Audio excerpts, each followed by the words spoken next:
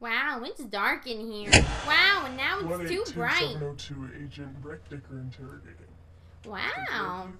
Kari, Kari McKeen. It's like Carrie only with a K instead of a C, and an R instead of an E, and only one R and an I instead of an IE. Tell me about the incident. Well, it like any normal sitting gig, you know, with the reassuring and the parents and all. Mrs. Parr, I can totally handle anything this baby can dish out. Can't I, little boom boom baby?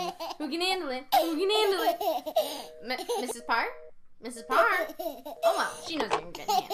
Now who's ready for some neurological stimulation? Ah.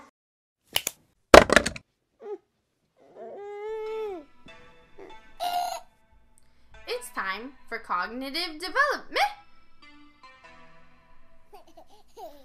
Ooh, who's the goo goo baby? Where's he hiding, huh? That was really weird. Wait right here. Hello, Mrs. Parr. This is Kari. I have a question about Jack Jack. Can you call me? Ah! Jack Jack? Baby? Where are you? Where? Mrs. Parr, it's me. Is fine, but weird things are happening, and you need to tell me what to do, because I'm.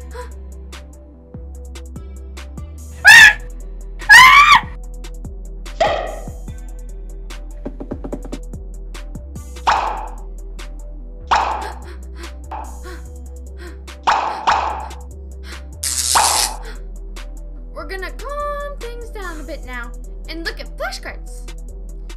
Won't that be fun? Triangle. Good. House. Good. Campfire. Straight out of Compton,